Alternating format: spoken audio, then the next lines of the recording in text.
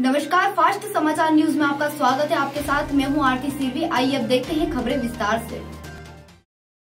रायसेन जिला रायसेन तहसील उदयपुरा के अंतर्गत ग्राम रामपुरा में नल जल योजना का भ्रष्टाचार उजागर किया गया है। इसमें अधिकारियों की मिलीभगत से भ्रष्टाचार हुआ है और जब अधिकारियों से इसके बारे में जानकारी ली गई तो अधिकारी लोग फ़ोन नहीं उठाते और कोई भी जवाब नहीं देते।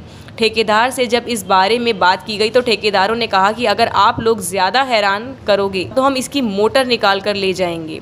इसीलिए आप देख सकते हैं इस वीडियो के माध्यम से जब हमारे संवाददाता ने ग्राम पंचायत से बात की तो ग्राम सरपंच का क्या कहना था।